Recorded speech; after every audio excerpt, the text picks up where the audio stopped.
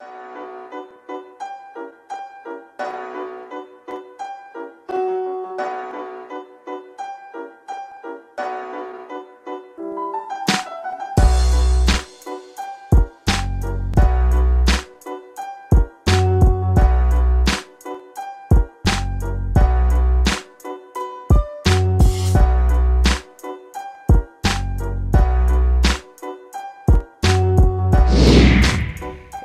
en Escuela de Cuadros, un programa de formación y de debate, un espacio en el que estudiamos textos y temas de la tradición marxista.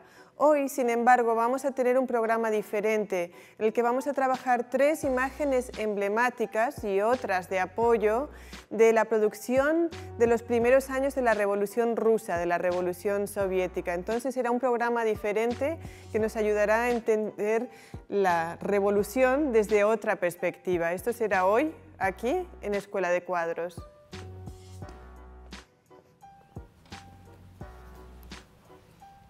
Hola, vamos a hablar principalmente sobre el tema del constructivismo soviético en los primeros años de la revolución. Estamos acompañados con Kaela Bello y allí estamos.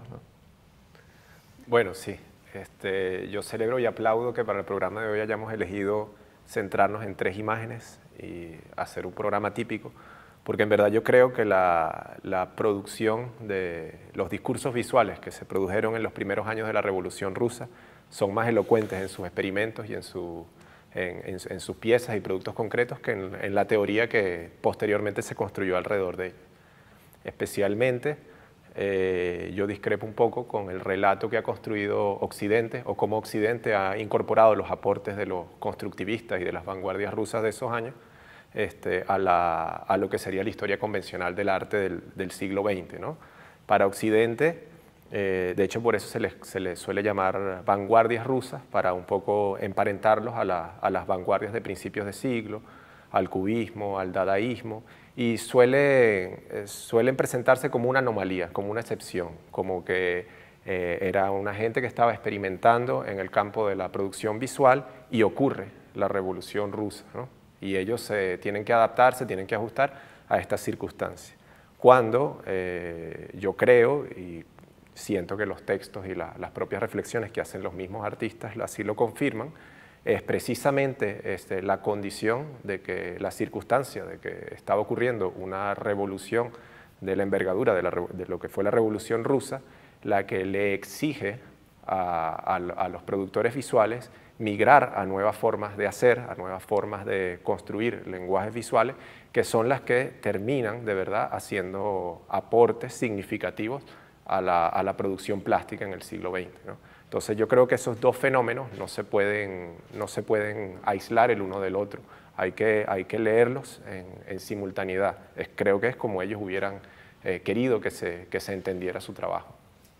Ubiquémonos en, en tiempos, ¿no? Eh, porque bueno, nosotros más o menos conocemos del contexto, y, pero ubiquémonos en tiempos de, de, la producción del constructivismo para luego entrarle quizás a la primera obra, la primera pieza que nos convoca hoy día.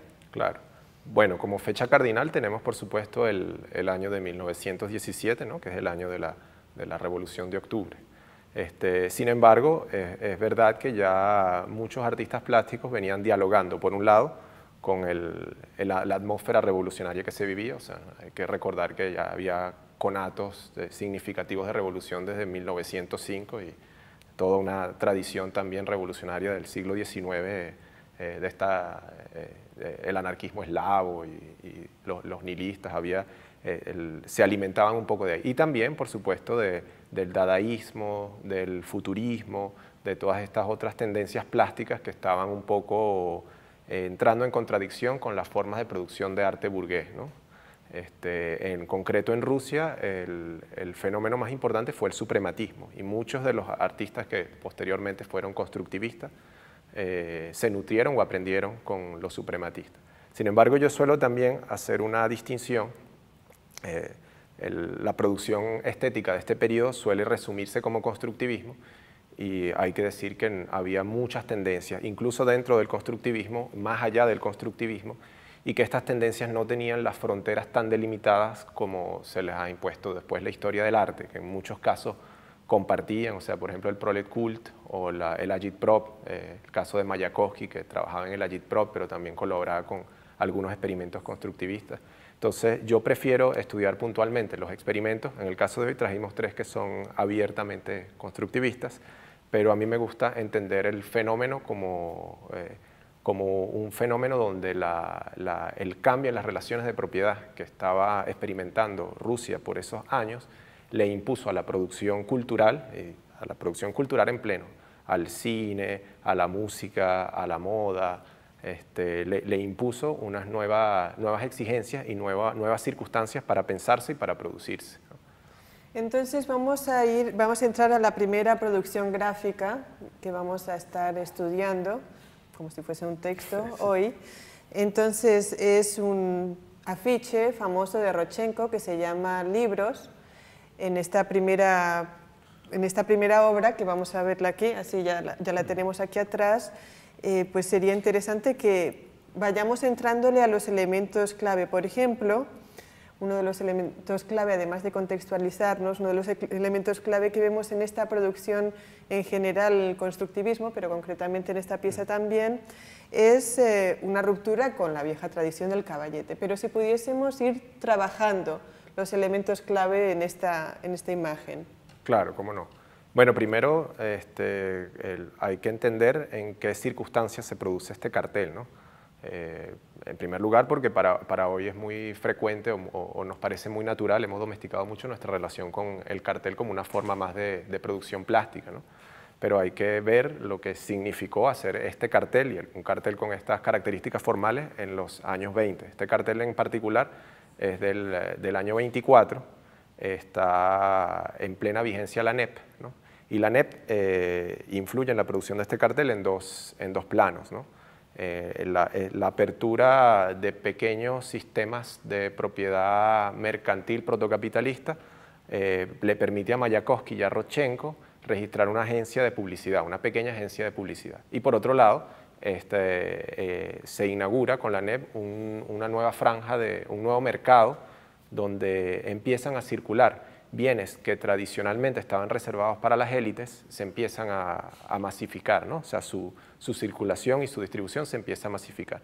Este cartel en particular fue un, encargo de la seccional de Leningrado de la Gosisdat, que fue la, editorial que, se creó después de la expropiación de las pequeñas, eh, casas de imprenta. ¿no? O sea, al principio se, se pusieron algunas imprentas bajo el control de los soviets, este, y el siguiente paso es centralizar la, producción editorial y se crea la GOSISDAT. Con la NEP vuelve a aperturarse un proceso de, vuelve a establecerse un proceso de, apertura y de descentralización y entonces el, eh, capítulo, la seccional de Leningrado, le encarga a la agencia de publicidad de Mayakovsky y Rodchenko hacer un cartel para, promocionar los libros.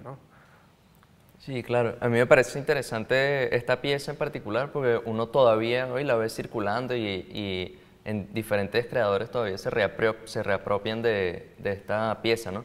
Y yo quisiera que, pudiéramos ver la posibilidad de abordar los elementos plásticos, ¿no? O estéticos del, cartel, ¿no?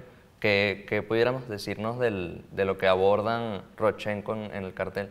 Bueno, lo primero, y a mí no me gusta... Eh, separarlo de esta circunstancia que veníamos hablando, lo primero es que ellos se plantean eh, el, desafío de hablarle a una nueva audiencia a la que no le hablaba la publicidad antes. O sea, la publicidad estaba acostumbrada a que sus mercancías circularan entre, élites o entre clases sociales que no eran, las, digamos, las clases llamadas a hacer la revolución. Ahora con este cambio de eje, la publicidad o los bienes se espera que circulen en, esta, en, las clases, sobre todo en el proletariado, ¿no? en, el trabajador fabril, ¿no? en el, obrero y la obrera fabril. Este, esto es clave porque hay que entender que para la Rusia de ese momento eran, eran audiencias poco alfabetizadas. Entonces eso le exigió a Rochenko y en general a los artistas, a los cartelistas de la época, este, migrar a formas donde los signos lingüísticos, donde las letras, el mensaje eh, verbal tuviera menor preponderancia que los lenguajes eh, plásticos o visuales. Entonces ven que es un cartel muy breve, muy acotado en su producción lingüística y formalmente muy efectivo. O sea, tienen que buscar las maneras de que los pocos signos lingüísticos sean lo, más eficaz posible. Este, esto en el marco también, bueno, hay una parte, ¿no? Mayakovsky decía, yo creo que como una ocurrencia, pero eh, creo que vale el comentario que sus mejores versos fueron los eslogan que hizo durante esos años que trabajaba en la, en la agencia de, de publicidad. ¿no? Entonces, un poco creo que lo mismo eh, viene a aplicar a Rochenko, ¿no? que eh, era lo que preguntaba Cira al principio. Eh, Rochenko migra al cartel, o sea, Rochenko es un artista que viene de renunciar a la pintura con su famoso tríptico de la muerte de la pintura, que pintó tres cuadros monocromáticos y de ahí tuvo un, largo hiato donde no pintó durante 20 años. Es decir, él no se fue al cartel para experimentar, para probar, sino que sintió que era su centro de producción, que en la pintura no había nada que buscar. Y de hecho el Rochenko ya tardío, viejo, eh, viendo sus pinturas dice, bueno, les tengo un apego afectivo por el trabajo que, que puse en ellas pero son tan útiles como una iglesia y quizás habría que quemarla. ¿no? es como la, la, reflexión que él hace. Todo este, toda esta producción surge, por supuesto, en un contexto de debates, de discursos, de, producción, de gran producción intelectual revolucionaria, de producción de manifiestos también.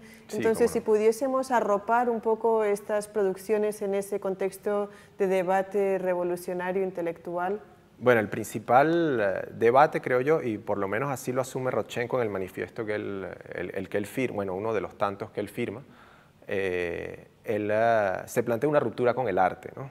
Esto hoy puede ser muy disonante, pero ellos lo, lo, veían en la... tenían una lectura mm, que buscaba pegarse mucho al materialismo histórico. ¿no? Ellos leen el arte como una forma de producción feudal, una forma de la producción artística o la producción eh, plástica que es heredada del feudalismo. De hecho, dicen que el capital, el capitalismo, la conserva o la mantiene como una suerte de, resabio, de, residuo que, queda de la producción plástica del, feudalismo. Y entonces ellos dicen que hay que migrar a una nueva forma que ya no puede ser llamada arte. ¿no? Entonces ellos este, desdeñan o rechazan el arte en su mayoría. Sin embargo, no abandonan el, término de, producción artística, es lo que, lo, que ellos rescatan. O sea, ellos con la renuncia al arte no renuncian a la producción plástica o a los discursos visuales o a esta, forma de producción, sino a, eh, a sus circunstancias de producción y sobre todo a la poca conciencia que existía del espacio de la producción artística dentro de las dinámicas de producción social. ¿no? Este, yo creo que una de las discusiones centrales también es esa, el papel del arte en la, producción. Este, fue Arbatov y Osip Brick teorizaron mucho al respecto y los artistas siempre tenían esa inquietud de cómo aportar o cómo el arte debía participar de la producción. Ahí es muy, muy, muy, muy interesante el tema de que cuando ellos levantan, o sea, ahorita, 100 eh, años después, les hemos vuelto, los hemos vuelto a encasillar en las categorías en las que nuevamente reordenamos el arte en el siglo XX. Pero en ese momento era, para ellos era difícil decir si estaban haciendo artes visuales o si estaban haciendo arquitectura o incluso si estaban haciendo ingeniería. ¿no? Muchos de ellos se veían eh, aportando a otros campos de la vida que no eran de la contemplación estética. El Lisitsky, que lo vamos a estudiar, eh, un productor en el segundo bloque, eh, dice que el principal viraje de esta época en, cómo se concibe el papel del artista en la sociedad es que él dice antes, el artista, su papel era embellecer el mundo. Hoy el, papel del artista, la tarea principal del artista es ordenarlo. Entonces ese, ese cambio rompe completamente con incluso lo que se estaban planteando, creo yo, las vanguardias del siglo XX, que no, no, escapaban a ejercicios en el caballete o para ser contemplados, digamos, en la galería o en el museo. Exacto, en espacios cerrados, o sea, que había una vocación de aportar a la tarea colectiva de la transformación de la sociedad, no del individuo únicamente, sino a la transformación de la sociedad. Creo que uno de los elementos importantes es que plantean, desde, hasta donde entiendo, plantean que en la, en la participación eh, de, la persona que está viendo el afiche, la, la producción X, eh, hay un proceso también de, transformación y de incorporación en un contexto de reorganización absoluta de la sociedad. Comentabas también, vamos a ir a un corte ahorita, comentabas también antes de empezar el programa y me parece interesante que estaban, la mayoría de ellas y de ellos estaban vinculados a la lectura, por supuesto, de la producción teórica de aquel momento y concretamente de un texto de Lenin, que quizás, bueno, que de hecho no hemos estudiado en Escuela de Cuadros nunca, que es Materialismo y Empiricismo, que fue un texto que mm, de alguna forma influyó sobre estas producciones de este momento, de este momento en los primeros eh, años de la, de la Revolución Rusa, de la Revolución Soviética. Como les comentaba al principio, estamos estudiando, estamos leyendo imágenes hoy en Escuela de Cuadros, imágenes vinculadas con el, con el momento del constructivismo, con el constructivismo soviético. Ya volvemos con más de Escuela de Cuadros.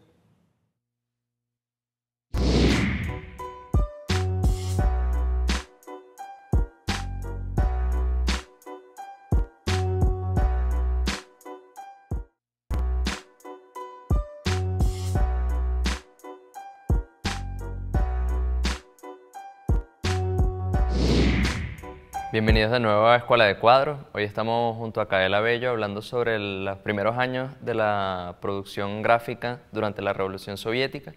Ahora vamos a ver un video que nos manda Chris de Barcelona. El legado soviético de los años 20 es un legado gigante. Quizás es el momento más importante de la producción artística soviética, pero como cualquier otro legado hay que asumirlo críticamente. Digo eso porque en los años 20 existió la tendencia de confundir el progreso social con el progreso tecnológico, de confundir los cambios en las relaciones sociales de producción con la producción en sí, con el productivismo. Así que cuando los constructivistas dicen que hay que construir la nueva sociedad, que hay que destruir lo viejo y construir el futuro, a menudo mezclan o confunden estos dos elementos, el progreso social con el progreso tecnológico. Ellos no habían visto cómo el fascismo iba en los años 30 combinar el progreso tecnológico con un proyecto totalmente barbar, un barbarismo social. No habían previsto cómo el fascismo iba a usar los progresos en los medios de comunicación, las nuevas técnicas de comunicación, con un proyecto totalmente reaccionario en lo social. Así que cuando confrontamos las vanguardias de los años 20, cuando examinamos su trabajo y queremos asumir elementos de esas vanguardias, son los elementos, los momentos en que los artistas asumen el proyecto social, asumen la importancia de cambiar las relaciones sociales, las relaciones sociales de producción.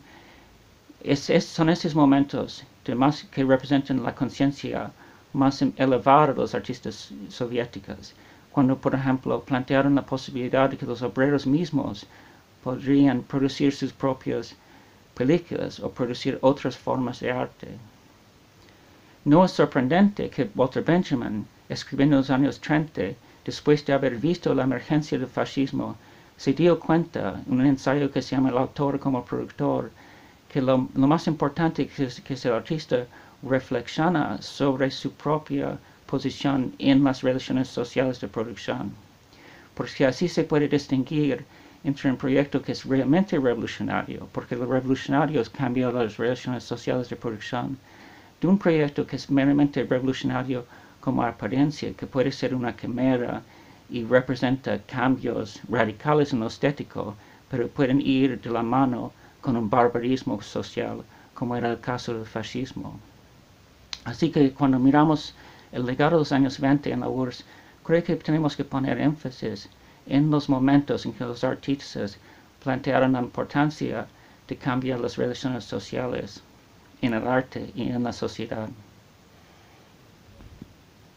Bueno, básicamente lo que Chris plantea es no solamente cambiar las formas, sino cambiar la necesidad de cambiar las formas para cambiar en un proceso de cambio de las relaciones sociales. Si quieres aportar algo en este sentido antes de pasar a la próxima imagen. Sí, cómo no. No, yo creo que era una discusión central eh, incluso en ese momento. De hecho, muchos constructivistas le criticaban al futurismo la fascinación por la mera máquina. ¿no? Este, en, la, en, el libro que es como el pilar teórico del constructivismo de Alexei Gahn, él establece tres principios para, para medir eh, eh, una, una, producción constructivista. ¿no? La, la tectónica, la factura y la que da nombre al, movimiento y que es quizás la, que es más pasada por alto, que es la, construcción. Cuando él habla de construcción se refiere al proceso de producción detrás de una obra, al proceso eh, técnico, pero también al, proceso social. Y eso en los constructivistas es central. Eh, cuando ellos intentan eh, establecer una brecha con la producción de arte burguesa, eh, uno de los hitos es superar la producción individual del arte. es una cosa que hoy también está muy en boga, pero cuando nos las planteamos hoy, precisamente nos las planteamos de un lugar quizás menos revolucionario que el de los constructivistas, porque nos planteamos quizás el problema como una apertura de la autoría a otras voces o a voces múltiples o a voces colectivas. Los constructivistas no. Los constructivistas entendían eh, esta, eh, este paso, este tránsito de un arte individual a un arte colectivo en sus formas de producción. Un poco creo yo en la apuesta, en la apuesta de Marx a que la sociedad capitalista tiende cada día más a formas de producción eh, más sociales. Entonces yo creo que el, apego de los constructivistas que tenían, digamos, mayor conciencia de clase o, del materialismo histórico, de la teoría marxista, la apuesta de ellos era que la tecnología caminaba de la mano con un proceso donde las relaciones de, producción eran cada vez más sociales y estaban viviendo también en un marco donde, contrario a la tendencia capitalista, las relaciones de propiedad también tendían a colectivizarse. Es interesante porque, aparte de las formas de producción, también se aborda la, forma en la que se utilizan los productos y, los propósitos. Yo creo que el, segundo ejemplo del que vamos a hablar, que es el Dila Golosa, escrito por Mayakovsky y diagramado y diseñado por El Lissiski, que fue eh, una coedición entre Alemania y la Gossisdad, eh, nos muestra no, no solo como la forma de producción, sino otra forma de usar el libro. ¿no? Sí, bueno, a mí con, el, con este material en particular me pasa algo eh, maravilloso que me fascina mucho, eh, que a diferencia del anterior, digamos como la propuesta del uso del cartel en esos términos, de alguna manera caló y hoy en día nos es muy cotidiano, muy común ver el cartel siendo usado como medio de persuasión de, de masa. ¿no? Lo vemos usado por, el, por el, digamos, la esfera mercantil del capitalismo, pero eh, igual es, muy familiar, no, no es tan innovador. Hay que ponerse en el lugar de que era gente que estaba haciendo eso casi que por primera vez. Sin embargo, con el Dría Golosa, este, yo creo que es la, eh, una beta muy rica del constructivismo, que es aquellas formas de producción que ellos asomaron y que la sociedad no tomó esa invitación, porque era, digamos, incongruente con, o sea, del del afiche, Occidente canibalizó algunas cosas que le fueron útiles para, para los sistemas de circulación de mercancía que, estaba planteando el, capital de, mediados del siglo XX. Pero con, el, con, este tipo de experimentos se quedaron ahí y yo creo que están un paso por delante incluso de, la sociedad actual. O sea, el Lía Golosa es un libro eh, si lo comparamos con la producción editorial posterior, yo, yo, diría que es un libro del futuro. ¿no? Hagamos un poquito de descripción básica del libro, ¿no? O sea, es una colaboración entre un gran poeta y un productor eh, visual, Lisitsky y Mayakovsky, ¿no? Y eh, se organiza, pues evidentemente es texto e imagen. Si pudiésemos entrarle a lo básico para luego entrar en los elementos más conceptuales. ¿Cómo no? Es, es un libro de un año antes del, del cartel, es del, del 23. Este, Golosa significa para la voz. Esto es muy importante porque el, título del libro es porque es un libro que está pensado para ser leído en voz alta y toda la representación de los signos lingüísticos y el uso de la tipografía y la composición y el uso de la, eh, digamos, la diagramación o la disposición de, los poemas en el espacio está hecho o pensada precisamente para favorecer su lectura en voz alta. Por cierto, en aquel momento en las fábricas también había lecturas colectivas de textos, eh, de textos de teoría, filosofía, literatura y por supuesto poesía también. Exactamente para eso fue que se, elaboró el libro en estas eh, eh, condiciones o con la, digamos, la materialidad libro-objeto particular que tiene. Que tiene ¿no? O sea, precisamente Lisitsky se cuestiona el hecho de que un libro eh, para unas nuevas circunstancias de lectura, es decir, un libro que ya no va a ser leído individualmente ni va a ser leído por las personas que suelen tener acceso a la producción literaria eh, convencionalmente, eh, no puede ser el mismo libro físicamente. Él en un texto incluso manifiesta su frustración, incluso ya quizás vaticinando los medios digitales, ¿no? pero manifiesta su, su frustración de sentir que el libro está condenado o es rehén de unas características formales puntuales, ¿no? el límite que te impone la página, eh, la cubierta dura, la, espina. Este, él, eh, dice que él, cree que el libro va a migrar a formas de producción, de, reproducción de sonidos y de imágenes en movimiento.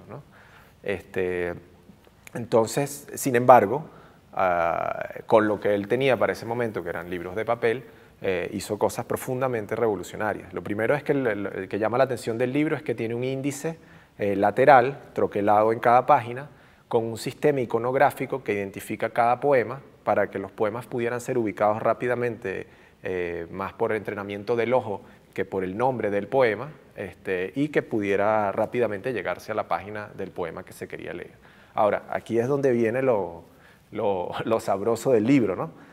Que es que para Elisitsky, y a mí me parece que tiene muchísimo sentido, él decía que así como de un poema no se podía separar, digamos, su sonoridad o su dimensión musical de, su contenido, de las imágenes que, el signo lingüístico buscaba representar, las formas en que se representaba visualmente no podían estar divorciadas de esa intencionalidad. O sea, él decía, es como pedirle a un poeta, bueno, tú haz las imágenes que yo le, musicalizo los versos. ¿no?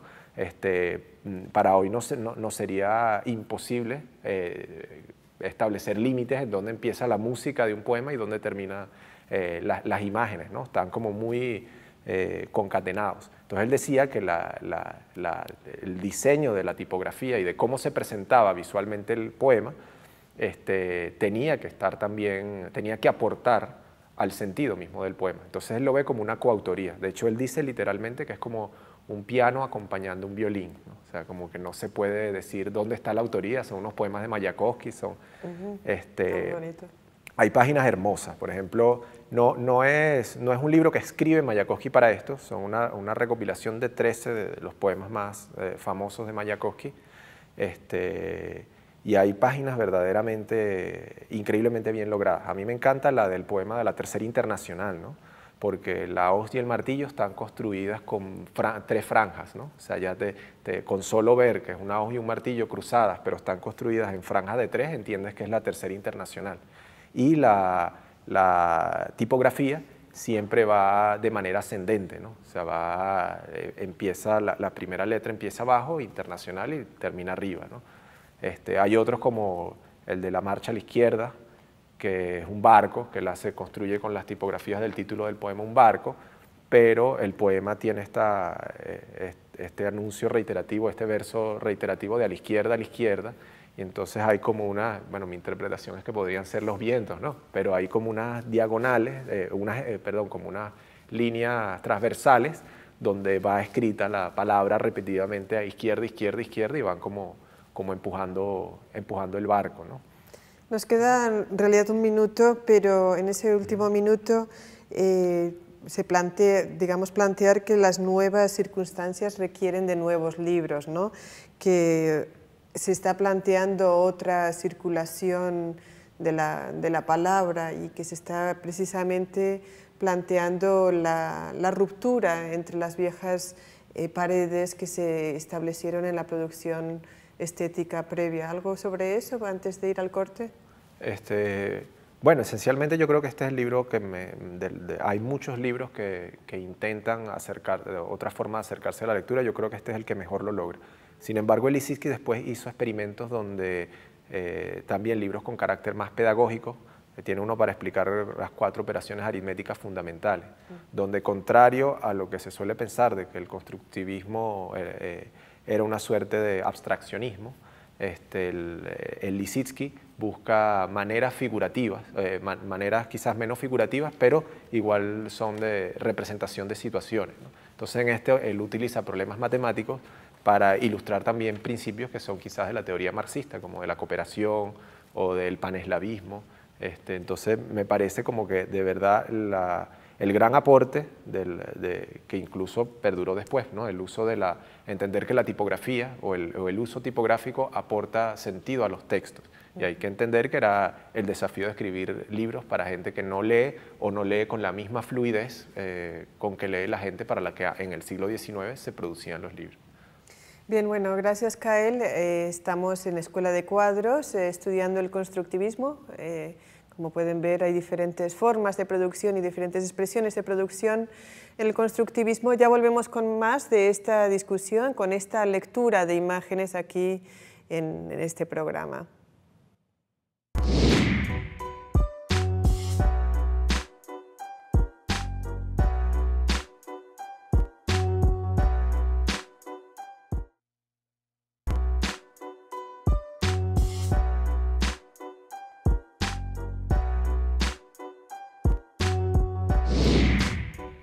Bienvenidos de nuevo a Escuela de Cuadros. En el programa de hoy estamos leyendo imágenes. ¿no? Eh, es interesante el, tema abordarlo desde la perspectiva de que no solo el texto, ¿verdad? Es lo que se, se lee, sino que también la producción gráfica, la comunicación visual.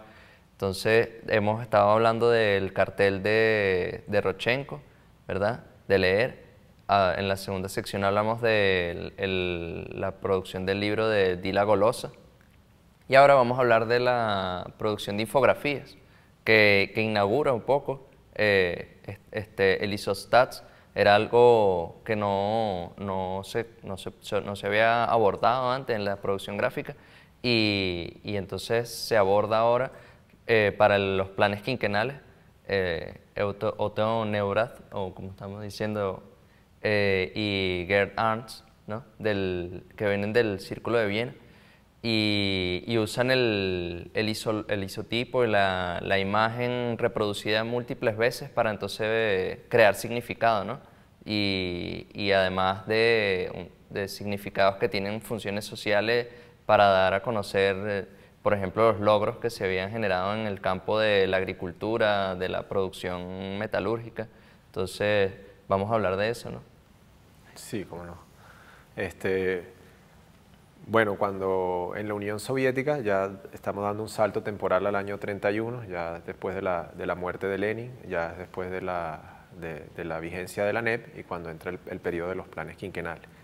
Cuando en el año 31 en la Unión Soviética tienen noticias de los, de los experimentos que estaba haciendo Neurath en Viena con el concepto del isotipo, eh, el eh, Consejo de Comisarios del Pueblo creó un decreto que a mí me parece interesantísimo. Es el decreto con el cual se crea el ISOSTATS, que vendría siendo, la traducción sería algo así como el Instituto de Estadísticas Pictóricas para la Economía Soviética, para la construcción de la economía soviética, algo así.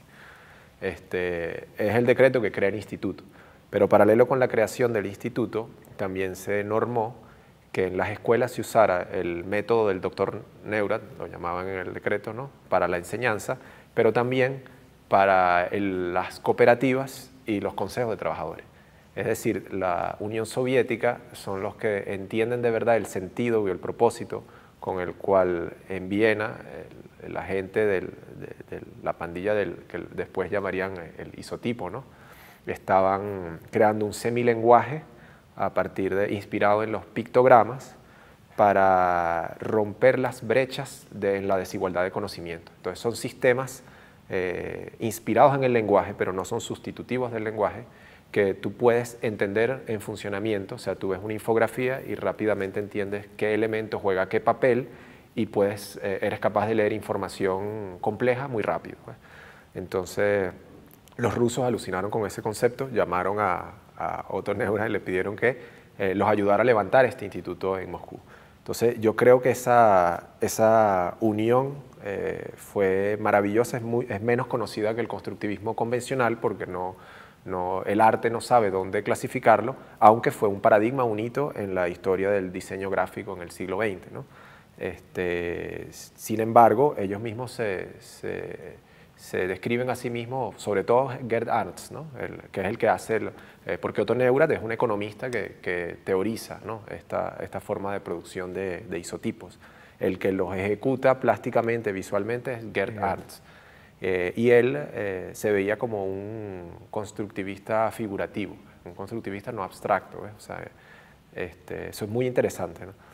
Eh, por otro lado, el, cuando se crea el ISOSTATS, el, porque por ejemplo en el Círculo de Viena, aunque muchos simpatizaban con los ideales del socialismo, según bueno, Rudolf Carnap llega a decir que Otto Neurath es el único que ve cómo estas, estas cuestiones políticas tienen que formar parte de, las construcciones lógicas que ellos estaban, eh, que, ese círculo intelectual estaba pensando. Ellos, ellos, sentían que eso ensuciaba un poco la objetividad con la que los planteamientos lógicos que ellos estaban haciendo, aunque políticamente eh, simpatizaban con la izquierda. De hecho, estas teorías pudieron surgir porque fue también el periodo de la, de la Viena Roja, ¿no? una Viena bastante abierta eh, antes, de la, antes del auge del fascismo, una Viena abierta a, a ideas de este tipo. ¿no? Entonces, ese vaso comunicante entre este, Otto Neurath y Moscú eh, creó un instituto donde llegó a tener cerca de 70 trabajadores e incluso se crearon departamentos regionales. Porque creo que un poco la idea que tenía la Unión Soviética o, el desafío que tenían por delante eran cómo democratizamos un poco las formas de hacer gobierno. Y ellos no lo veían solo como se puede leer ahorita, como una, como una eh, relación no dialógica, donde el Estado informa o el gobierno eh, eh, cuenta lo que hace, que ya de por sí es bastante revolucionario. El hecho de que ellos sientan que el plan quinquenal eh, a, nivel, en su, a, su nivel de cifras brutas ¿no? deba ser divulgado lo, más, lo más extendida y masivamente posible. Eso ya es bastante revolucionario. Sin embargo, yo creo que ellos iban un paso más allá eh, y los aportes que le hacen los rusos al método de Viena, al método de, de Neurath, por ejemplo, eh, son, uno, el Ivanitsky señala que este método va a ser, es una herramienta poderosísima si se lleva a manos de la clase trabajadora. O sea, que ellos ven eh, que este es un método que va a permitir que la clase trabajadora no solo procese información que en teoría es compleja de manera más sencilla, sino que también se vuelve un enunciador. Fíjense que en el decreto a las cooperativas y a los consejos de trabajadores se les pide expresar sus, eh, sus cifras de producción en este, en este lenguaje. Es interesante porque, bueno, evidentemente hay un elemento pedagógico muy concreto, muy directo, al, digamos que en es, es eh, aperturar eh, lo estético, socializarlo más ampliamente, pero aquí hay un contenido claramente pedagógico. A mí también me interesa todo este elemento del internacionalismo, ¿no? que alrededor de las revoluciones se generan espacios, vínculos de solidaridad y una suerte de polinización de ida y vuelta que es eh, muy interesante. Pues, por ejemplo, en el proceso bolivariano, podríamos decir que nuestro proceso Quizás lo más interesante fue la producción audiovisual en las televisoras comunitarias, ¿no? Y hubo gente que vino de, afuera, eh, que vinieron aquí a aportar en este contexto de producción revolucionaria. También me parece interesante que eso no se dio solamente en la Revolución Soviética o aquí mismo, pero también en Cuba hubieron procesos de enriquecimiento a través del internacionalismo en la producción cultural estética. Quizás eso no es tan central, pero es ciertamente un elemento interesante. No, bueno, yo creo que fue bastante central en la, en la capacidad que tuvieron esta, estas vanguardias de hacer aporte, digamos, de carácter eh, global. ¿no? Eh, hay que recordar que Lisitsky fungió como embajador cultural en Alemania, ¿no? y él es la principal bisagra de este paralelismo que suele establecerse entre lo que estaba pasando en Rusia y eh, el surgimiento de la Bauhaus y de muchas de estas ideas aplicadas, digamos, a Occidente. Pero también en ese papel de Lisitsky de embajador cultural, este se sabe menos, él era el, responsable del diseño de los pabellones para las exposiciones internacionales. Y en el diseño de esos pabellones, el ISOSTATS tuvo una, además de las infografías que trajimos hoy de los planes quinquenales, tuvo una, una, producción también muy interesante de cómo, se, de cómo mostrar lo que estaba pasando en la Unión Soviética al resto del mundo. Y mucho de, lo que, de los conceptos que se construyeron en, en ese momento, de, de, de, las características específicas de esa revolución, fueron gracias a que entre él y ISOSTATS llegaron a una, a una suerte de híbrido donde se realizaron infografías que iban más allá de lo que había pensado eh, Neurat, porque Neurat estaba muy centrado en el desarrollo de iconos y eh, Elisinski traía todo este bagaje del, fotomontaje y de otras, otras formas de representación de la realidad que en ese momento se, existía el entusiasmo de que eran más exactas, como la fotografía, este, para sustituir los grabados. Entonces ellos hicieron catálogos este, muy, este, muy e, efectivos donde explicaban cómo estaba organizado el Estado soviético, cuáles eran las cifras de producción, cómo estaba ordenada la, eh, digamos, los sectores de la clase trabajadora, ¿no? cómo, cómo, era su relación con el estudio, con el, con el acceso a la, a la, universidad. Y eso Elisinski lo coordinó muy, muy de cerca. O sea, el producía las infografías, pero Elisinski presionó para la inclusión de fondos con patrones, de fondos con imágenes fotográficas. Este, y ahí Gerd Arts también eh, desarrolló un estilo de ilustración inspirado en los isotipos, pero que ya no es una infografía, sino es es un híbrido entre ilustraciones que recrean escenas, pero se leen casi como una infografía. Sí, yo creo que es interesante estudiar el, ambiente de, la producción cultural de esa época y el vínculo que tiene Rusia, que abarca no solo Europa, sino que también toma parte de Asia, pero que tiene, entonces se, va hacia Alemania ¿no? y, y toma de allí y, hay una retroalimentación. Yo creo que eso es central, pero además es, es curioso como la, el, desarrollo, el desarrollo técnico ¿no? permite, y no solo el desarrollo técnico, sino el desarrollo técnico bajo una, una revolución en la que la clase trabajadora y campesina se está tomando los medios de producción. Eh, comentábamos que, que, eso es lo que posibilita que se, se creen este, este, esta serie de experimentos que, se vinculan a la sociedad, ¿no? No, no, es el, no, son estos productores culturales o, de material simbólico que están haciendo innovaciones separados eh, con su mente de genio, sino que precisamente son estas condiciones sociales las que le permiten crear estas cosas. ¿no? Eh, yo, es, curioso eh, con el ejemplo de la, en particular, el ejemplo de la infografía, porque incluso hoy escapa las definiciones formales. Eh, hay, hay, gente que lo, incluso lo, lo, vincula con el periodismo, ¿no? por ejemplo, eh, o, o, que si es parte de la, de, la producción gráfica, del diseño nada más. Entonces, eh, es el, precisamente el hecho de, de, no buscar caer dentro de ninguna de las de la definiciones previas la que permite que, que, se, que se generen esta, esta producción. Claro, sí, hay algo muy interesante en lo que tú dices, que es que, eh, y no suele contarse en la historia de la Revolución Rusa, el importante papel que jugaron los soviets de tipógrafos en, en, posibilitar la revolución. O sea, toda esta eclosión de la gráfica en este periodo es gracias a que los soviets tenían casi que como una de sus primeras medidas el tomar o custodiar militarmente las imprentas locales. ¿no?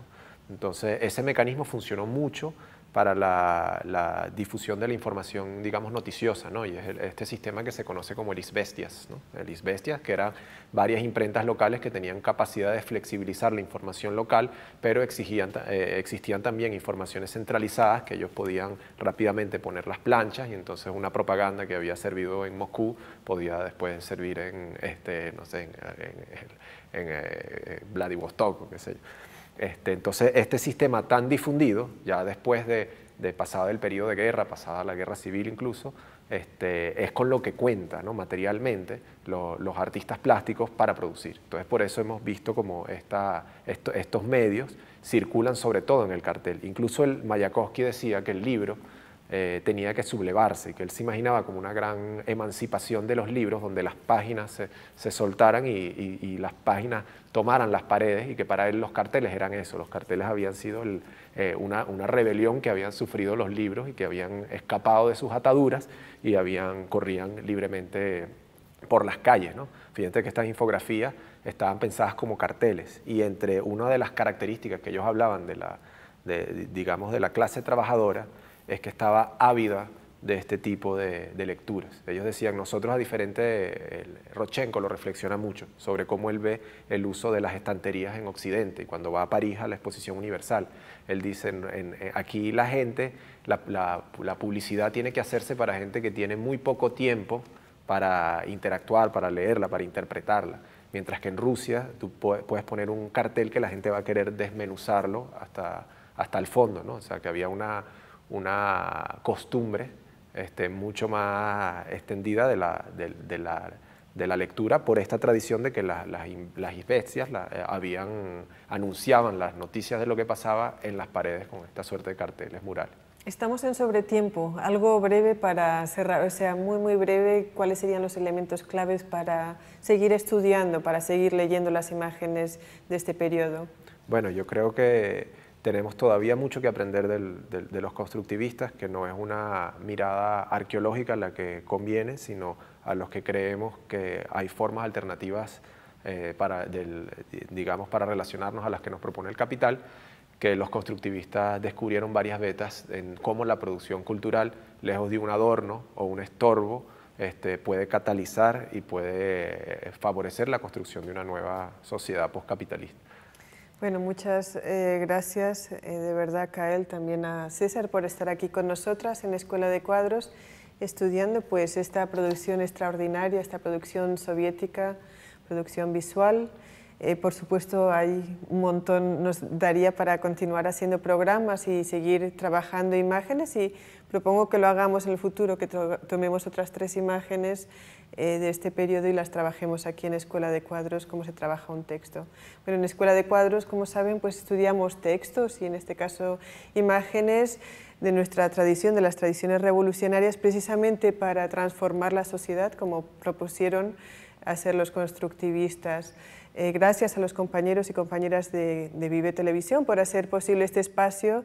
Recuerden que Escuela de Cuadros se transmite semanalmente por Vive Televisión y también por Alba TV. Pueden descargar todos los programas que producimos aquí en Escuela de Cuadros, van a YouTube, buscan Escuela de Cuadros, Escuela Cuadros, y allí pueden conseguir los 230 y pico programas que hemos producido hasta el momento. Y también nos pueden seguir en redes sociales a través de arroba Escuela Piso Cuadros por Twitter. Nos encontraremos en un próximo espacio de formación y de debate.